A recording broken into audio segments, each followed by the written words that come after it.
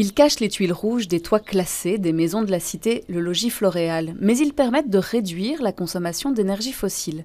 Par contre, une chose est sûre, ces panneaux photovoltaïques ont été placés illégalement par la société Brussol. Aujourd'hui, la propriétaire a été prévenue. Il y a eu un courrier de l'urbanisme, il y a eu un courrier euh, de Bruxelles qui était menacé par l'urbanisme, évidemment, parce qu'ils avaient fait quelque chose qu'il ne fallait pas.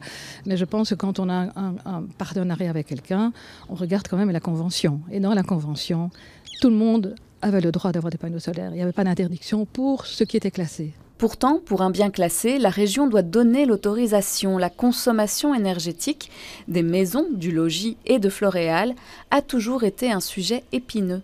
Comment rénover avec des techniques modernes tout en conservant le patrimoine Pour les autres propriétaires, il faut de la cohérence et ils soutiennent la démarche. Nous soutenons ce projet de panneaux solaires puisque bon, ça devient une nécessité. Euh, donc les autorités euh, attendent de nous hein, à ce que nous améliorons la performance énergétique de nos immeubles. Aujourd'hui, du double vitrage peut être posé et les façades isolées par l'intérieur, mais hors de question pour la Commission royale des monuments et sites d'accepter des panneaux photovoltaïques, contrairement à la commune.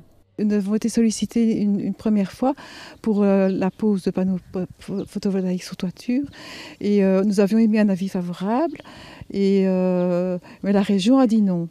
Du coup, nous avons fait un recours, mais nous n'avons pas obtenu gain de cause. Donc voilà où on en est.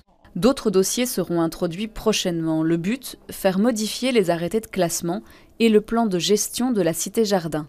Des compromis pourraient être faits, comme poser des panneaux de la même couleur que les tuiles, même s'ils coûtent 25% de plus.